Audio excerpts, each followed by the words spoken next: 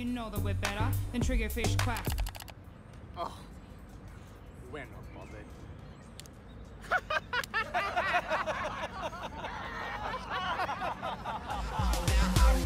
You've been read.